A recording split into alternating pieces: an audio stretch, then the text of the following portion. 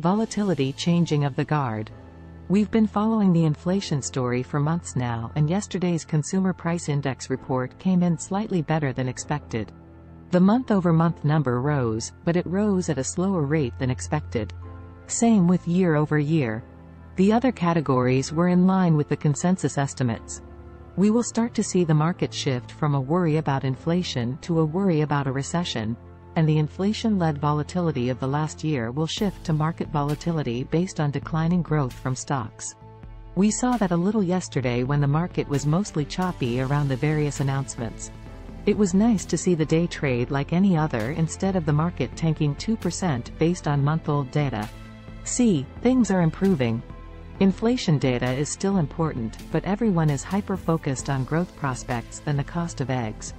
With this volatility changing of the guard, the analyst team at Goldman Sachs said they prefer equity derivatives such as short-dated put spreads, S&P 500 longer-dated collars, and long forward volatility strategies as a method of hedging against stock declines. I think what this means is that we could see wider swings in the market than in recent times, certainly since the previous quarter, and stocks with low growth will get punished as money flows into stocks with positive growth potential. I'm looking at you, AI stocks.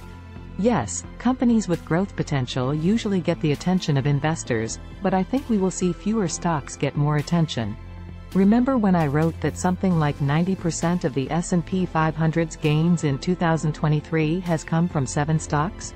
We don't have to look further than Nvidia, NVDA, which started 2023 around $148 and has gone nearly straight up to a high of $280 in four months.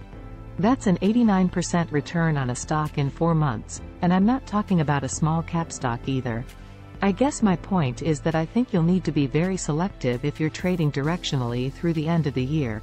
This isn't going to be like 2021 when you could randomly pick any stock out of a hat and end up with gains at the end of the year.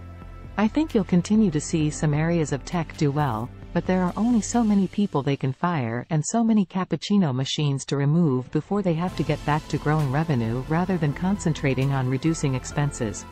I'm bullish on tech but not convinced this type of move will continue through the end of the year. Now, the potential growth in the market can come from the Fed if they are done raising rates after next month. I think we're likely to see another 0.25% increase and then the Fed will announce a pause. I don't think they are going to cut rates, but I believe they will keep rates elevated. You saw the numbers above. Inflation is dropping, but rather it's slowly gliding down. The market may be okay with the pause and still drift higher, with or without a recession.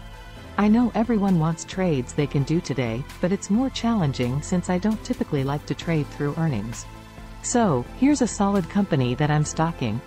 For more information on the company and this story, visit tradersreserve.com.